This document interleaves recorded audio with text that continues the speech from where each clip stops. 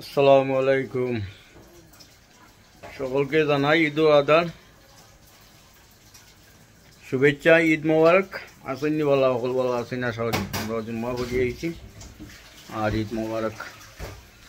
এখন খাওয়া দাওয়া করে খরকা, গরুরও খাচ্ছেন গরুরও খাওকা, গরু মাংস দিয়া রুটি খাওকা, পরোটা খাওকা দায় দিটা বানাও মনে কুরমা পোলাও দিটা ও দৌকা কুরমা